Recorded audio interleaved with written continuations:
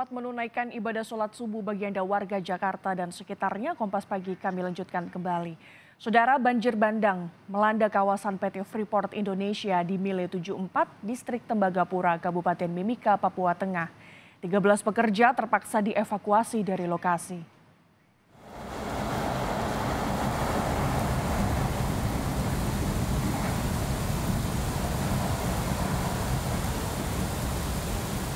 Banjir bandang terjadi di Mile Poin 724 Distrik Tembagapura, Kabupaten Mimika, Papua Tengah.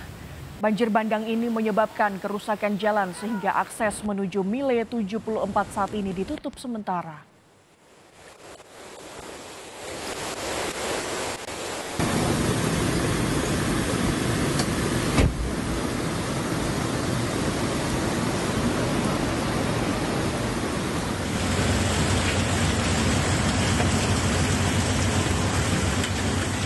Akibat banjir ini, sejumlah alat berat milik PT Freeport Indonesia terseret banjir hingga rusak tertimbun material pasir dan bebatuan.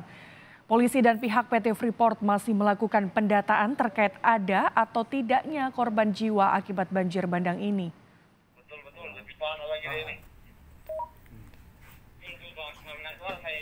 Wah, luar biasa.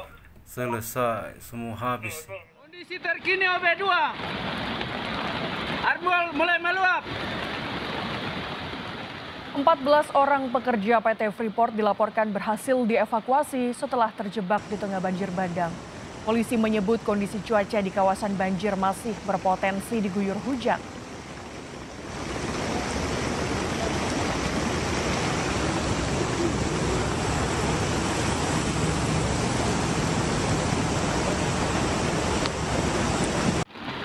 Kemudian hasil komunikasi kami dengan pihak manajemen, termasuk juga eh, laporan dari Polsek Tembagapura.